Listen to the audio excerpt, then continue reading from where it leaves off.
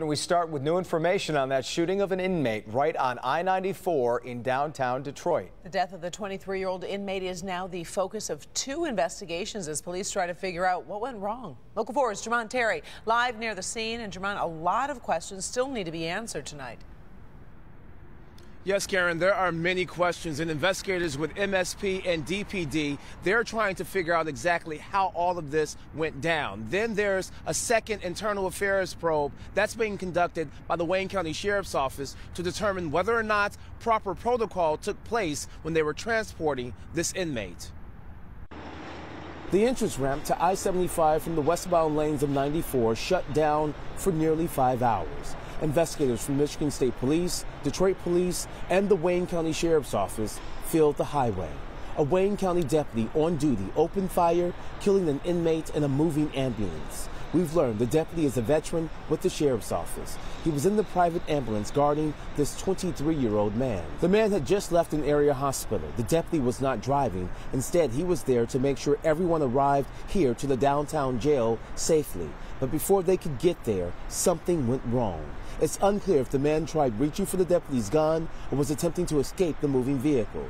But the sheriff's officials described a quote, violent struggle between the inmates and deputy in the back of the moving ambulance. We don't know if the fight lasted for seconds or several minutes, but it ended with the deputy firing a fatal shot. The 23 year old man from Detroit died on scene. The deputy was not seriously injured. But the big question how did this inmate get in position to fight this deputy?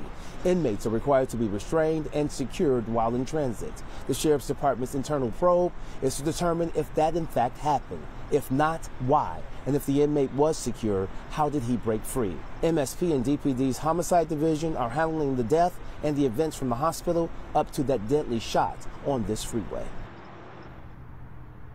Now, there is, in fact, one key witness in all of this. It's the driver of the ambulance. That person likely heard, potentially saw everything that took place. We should point out that man was, that driver was driving along I 94 here. And when that shot went off, thankfully, he did not hit any of the other cars along I 94. Again, an open probe tonight. Reporting live tonight, Jermont Terry, Local 4.